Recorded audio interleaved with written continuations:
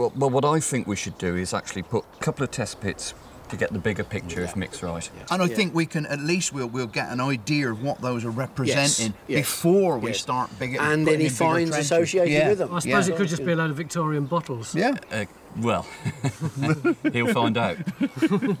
Once you've dug your test. Ones pit. I did. Phil opens the first of two test pits in the orchard. John keeps an eye on things.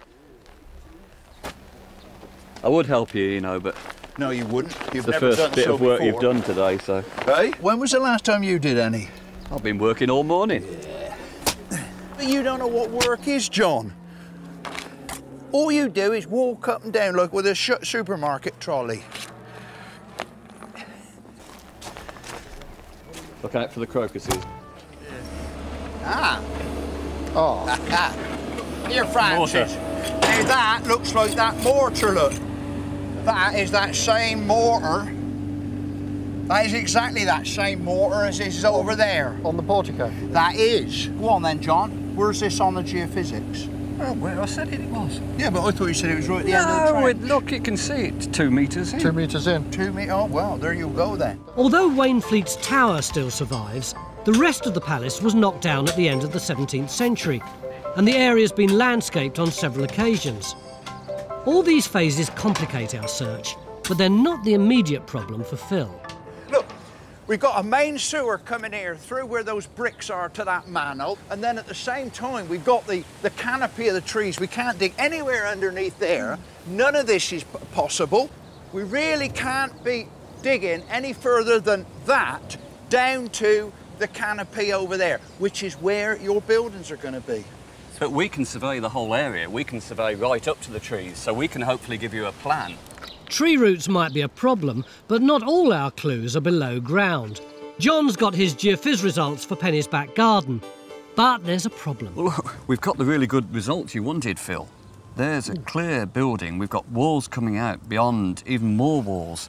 Um, but it looks as though that's all underneath the canopy. The main thing is, I think we can get the the uh, see if- corner, yeah. that corner there. Yeah. That's only one branch, isn't it? It's a twig. Oh, a twig, a mere twig, right.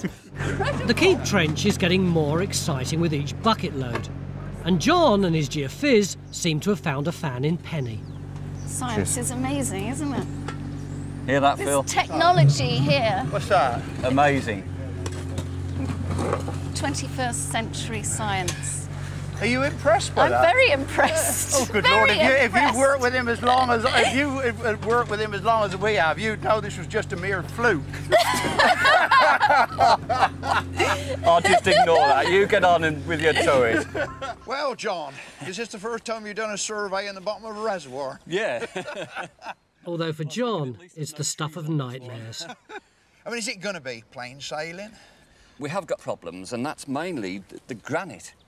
I don't know how magnetic it's going to be. So the fact that, that granite has originated from a volcano, that volcanic activity may actually affect the magnetics which affect your machine. Yes, and we can confuse that with what might be burning or settlement, you know, activity. Um, so we- we'll give it a try. But I mean, how about the silt itself? Is that going to be a problem? I think what we'll try there is actually radar. Um, yes. You're actually going to drag that wheeled trolley out across the mud. Yeah, because that would hopefully give us the profile of that old land surface, get profiles um, of the sort of valley, and then build up a 3D picture, Well, I hope you succeed. as long as we don't lose Jimmy in the silts. Meanwhile, Phil's extended Trench 1 by 13 metres in his bid to find the outer rotunda wall. Phil, Yo! how you getting on? Well, I've uh, lost my castle, mate. You've lost the castle. That's very careless of you. What's going on? There's no sign of this outer wall, Phil. Strange, isn't it? Well, if it's in a metre of where I'm surveying, we'd see it. You would have thought it ought to have been there, though. I mean, that's there. John, just disconnect and go away, will you? Hello, my name's John Gater. Time Team is fan funded by Patreon. This vital support helps us to make new episodes.